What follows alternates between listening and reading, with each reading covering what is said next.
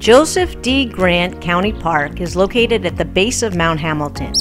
Its 9,500 acres of land has history dating back to 1839, when the Spanish gave the land to Governor Alvarado.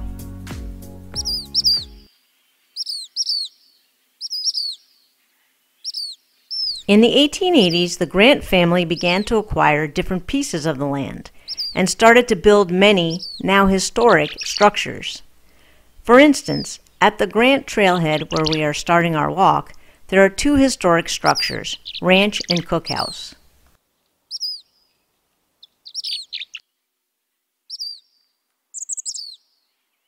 After the death of Joseph Grant and his wife Edith, the ranch was left to their children and bought by their daughter, Josephine Grant McCreary. She resided there until 1972. Josephine willed half of the ranch to save the Redwoods League and half to the Menninger Foundation. Both organizations sold their portion of the ranch in 1975 to the County of Santa Clara. Joseph D. Grant Park was dedicated and opened to the public in 1978. This is why the park is named after Joseph D. Grant, and some trail names are named after his family and historic structures located near trails. Another interesting fact about Grant was that he was a founding member of the Save the Redwoods League. We begin our walk on the wide, flat hotel trail. Can you hear the chorus of northern flickers, woodpecker drumming, chestnut-backed chickadees, white-breasted nuthatches, and oak titmouses that are bustling in the trees and shrubs? These birds nest in the cavities of the trees and eat insects.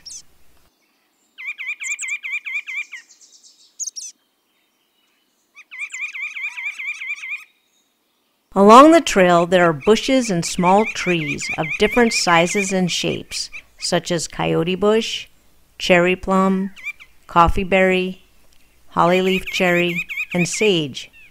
The colors they display are pale yellow and green and dark green. The ones with berries supply food for the local birds. The hills of this park are studded with five types of oak trees valley oak, blue and black oak, coast live oak, and canyon live oak that provide habitat and food for more than 32 species of birds and 39 species of mammals. The most common way to distinguish among different western oaks is to look carefully at their leaves, and if it is the fall season, then you can observe their acorns. Oak leaves vary by whether they have lobes or not, and what is the shape of their lobes. For instance, canyon and interior live oaks and tan oak leaves do not have lobes.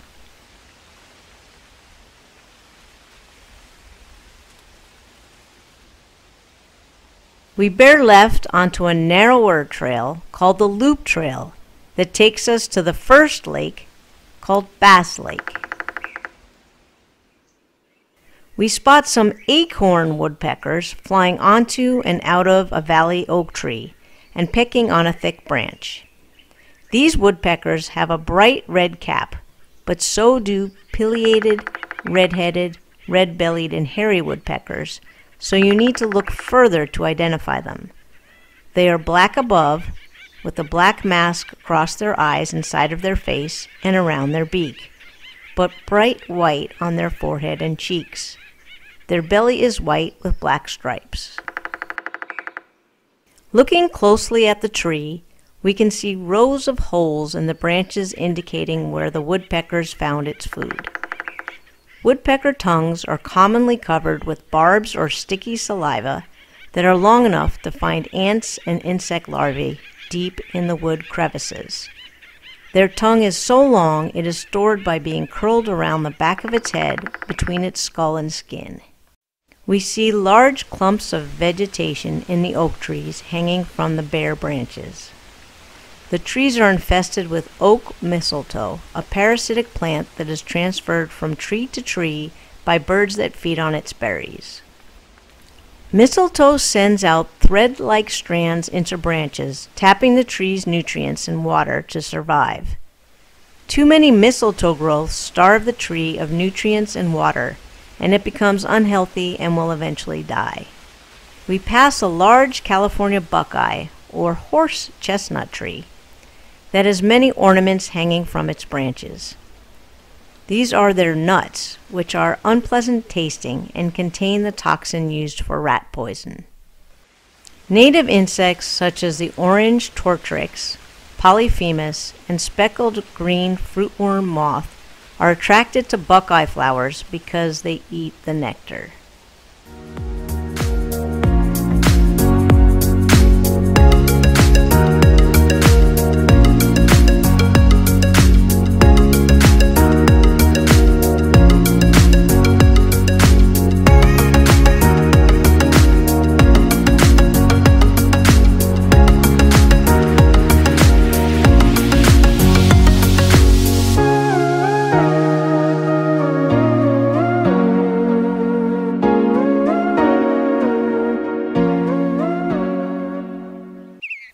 Turn right onto the Bass Lake Trail, and just 50 steps further, we see Bass Lake.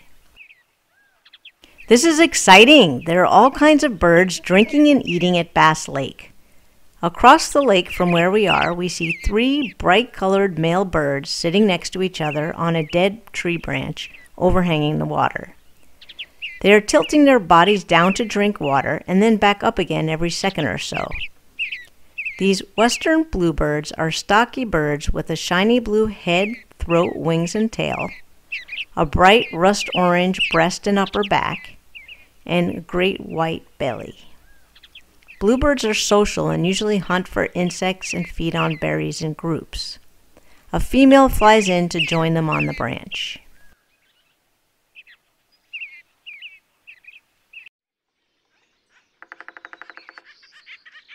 Not far away, on another branch overhanging the water, we see an acorn woodpecker drinking water from the lake. Their bright red cap and black mask that contrasts their white throat and forehead is clearly visible.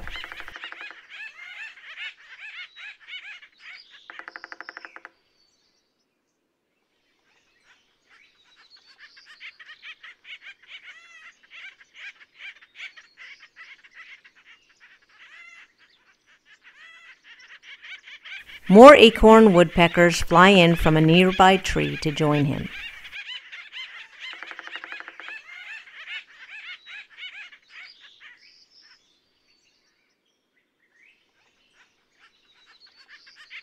After they are done drinking, they fly back to the tree, peck the wood, and eat the insects, and then fly back down for a drink.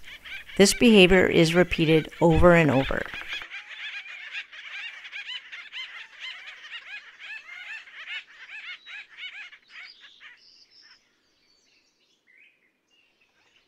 Looking into the sky, we spot a red tailed hawk soaring in the clear blue sky. They are one of the largest birds in North America. They have broad, rounded wings with a span of up to 52 inches and a short, wide tail. Their feather coloration varies, but generally they are rich brown above and pale below, with streaks of brown on their belly.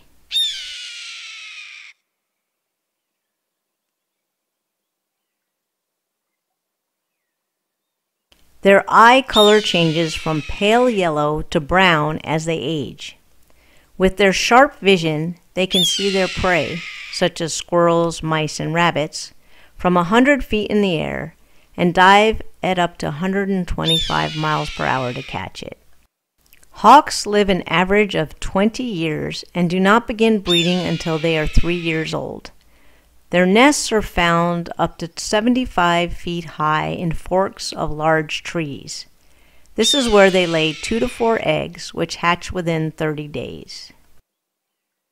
We continue on the loop trail to go to McCreary Lake, that is double the size of Bass Lake. This lake was named after the daughter of Joseph D. Grant, who married into the McCreary family. Across the lake, a greater yellowlegs is wading in the water and bobbing its head up and down into the mud to hunt for aquatic insects, small fish, and marine worms. It is a large, lanky shorebird with a long bill. Its back and wings are a checkerboard of white and brown with a light colored breast and long bright yellow legs. It migrates here from Canada and Mexico. We also see a sooty black phoebe perched on a branch who is looking for its afternoon insect snack.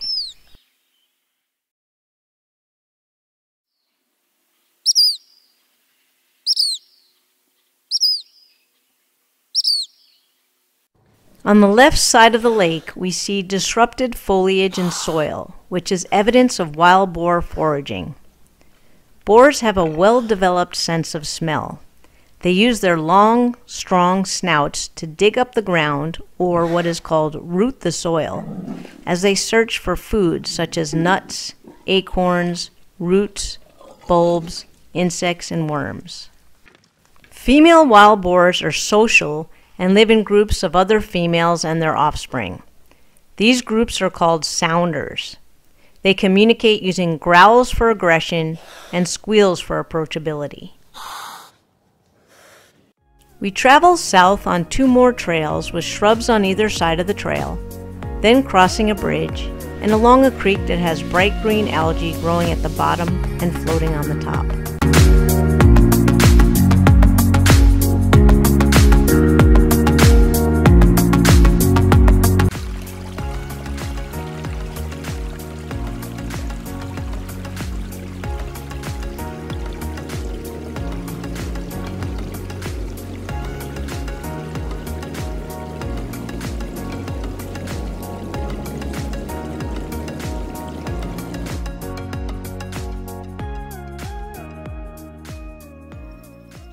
Along the way, we see native plants and wildflowers and views of the surrounding area. The first wildflower that greets us is a cluster of deep blue petaled flowers with white appendages at its center and long stalked leaves at the base of the plant. This flower is called Pacific Hound's Tongue. It got its common name from the shape of its leaves.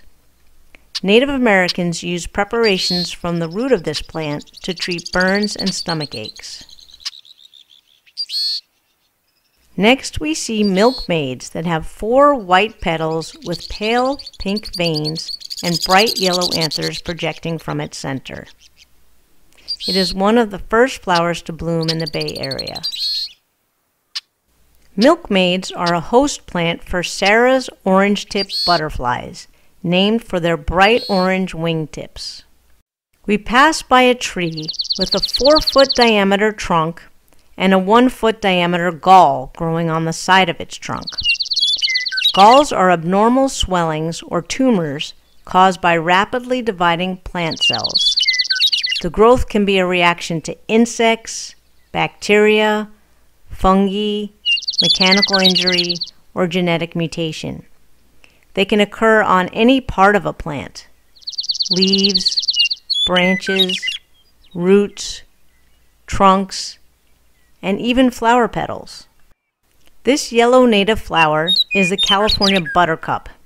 It has more than a dozen overlapping glossy yellow petals. The flower is edible, and they are the host plant for three different species of moth.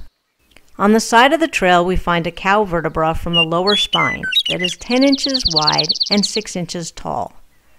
Our parks allow cattle to graze in the grasslands as a means to prevent wildfires. Their most common predators are a band of coyotes and mountain lions. This shooting star has four narrow lavender petals that are at the top of a very thin, long, and brown stem. Along the Yerba Buena Trail, we have views of Mount Hamilton that has a peak of more than 4,200 feet, and Lick Astronomical Observatory that is owned and operated by the University of California. The observatory was built in 1887 and now houses a 120 inch reflector telescope. From the top of the Lakeview Trail, not only can we view Grant Lake, but also Cook House, in 1932, Joseph D. Grant made extensive renovations to the cookhouse that included adding two new wings to the structure, building a swimming pool and pool house, adding a second floor balcony, and more. The cookhouse later became the park office and is currently undergoing restoration. Along the Lakeview Trail, we find more wildflowers. Orange flowered fiddlenecks are commonly used for erosion control and habitat restoration. Its prickly fruit gets attached to animal fur or human socks, helping to spread its seeds. Fiddleneck flowers are tubular with five petals. Their flower buds are in tight coils at the top of the plant. The flowers open from the bottom to the top, causing the stem to uncoil. Thus, they got their common name, because the stem is curved like the neck of a fiddle, and the flowers coming off the stem seem like tuning pegs. On the right side of the trail is a five foot tall shrub called hillside gooseberry. Hanging upside down from its thin dark brown branches are cranberry red berries with bristles. Their berries are edible and provide food for birds and caterpillars. Its flowers also hang upside down. This bush has deep green shiny leaves that are rounded and lobed.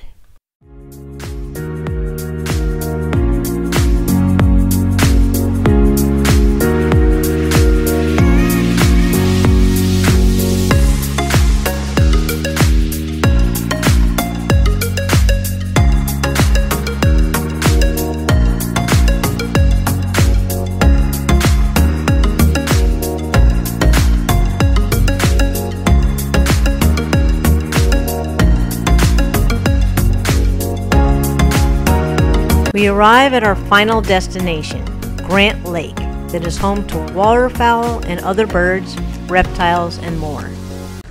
Along the side of the lake among water plants are a bale of turtles with their necks up in the air surveying the water. These slider turtle shells and skin are olive to brown in color with yellow stripes. Unfortunately, they were pet turtles introduced into the wild by owners who no longer wanted them and are considered an aggressive invasive species, taking over the habitat for California's only freshwater turtle, the western pond turtle, that is a species of special concern.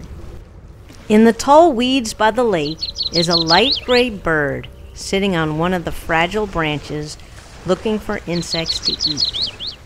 It has a white eye ring, white tipped wings, and is lighter gray on its belly.